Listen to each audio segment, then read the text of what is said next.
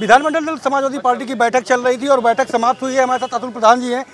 Sir, किस तरीके की योजना बनी है? किस तरीके से देखिए, योजना सबसे पहले यही है कि समाजवादी पार्टी के वरिष्ठ नेता सर्वदलीय मीटिंग में मुख्यमंत्री से बात की कि सबसे पहले ये बजट सत्र इसकी दिनों की संख्या आपने थोड़ी कर दी है।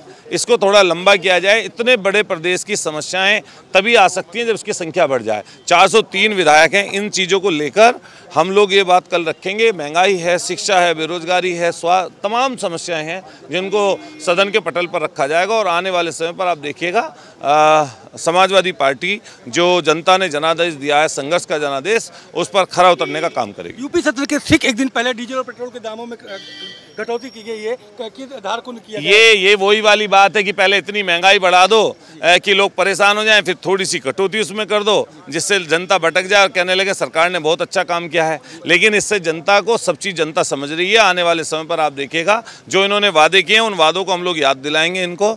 और वादों पर अगर ये खरा नहीं उतरते तो सड़क से लेकर सदन तक इस चीज़ पर संघर्ष किया जाएगा। सवाल मेरा और कि आज़म खान और अब्दुल्ला जी क्या शामिल हो रहे हैं? क्योंकि अटकलें बहुत तेज देखिए समाजवादी पार्टी में माननीय आज़म खान साहब का जो स्थान है वो बहुत बड़ा है। वो फाउंडर मेंबर हैं, हम सबके नेता हैं और समाजवादी पार्टी पहले दिन से उनके साथ खड़ी हुई है।